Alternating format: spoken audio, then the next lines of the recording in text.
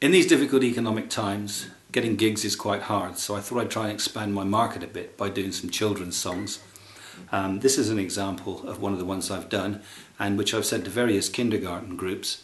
Um, to date, I've had no responses from them uh, for reasons I can't really understand, but uh, I thought I'd play you this one. It's called Lullaby.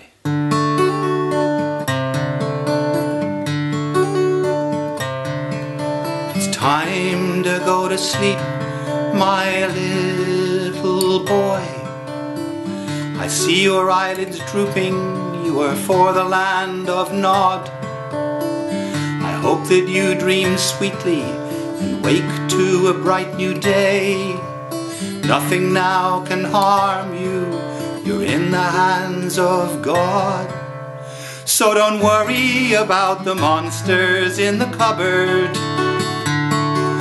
Ones with blood red eyes and razor sharp curved claws. It simply isn't true that they devour little children, tearing off the living flesh with their pointed teeth set in dripping jaws. And don't believe what your siblings may tell you about the tigers and the goblins hiding underneath your bed. They only say this cause they want to scare you. It's really quite unlikely that by morning you'll be dead. And those spiders, snakes and other creepy crawlies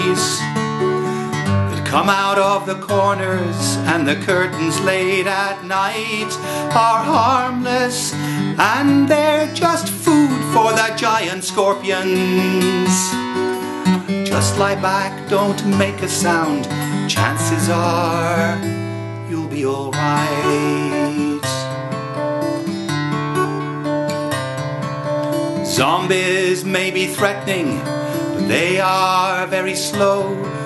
It's only when they catch you that your troubles really start. And dinosaurs died out about a hundred million years ago. So it's not true they can find you from just the beating of your heart.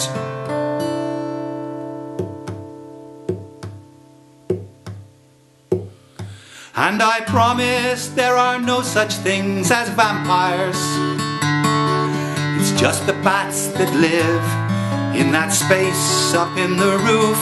They say their bites are harmless and usually quite painless. But we've never found survivors, so we don't have any proof. And it's just a rumor that the house is haunted by your mother's second husband who met that strange and violent death. They found him chopped to pieces in the bathroom. Though they recorded natural causes, he just died of lack of breath. So you really have no reason to be worried. Just lie back, close your eyes, and give yourself up to your dreams. We're going down the pub, but it's only just round the corner. We'll be back in time to save you if and when we hear your scream.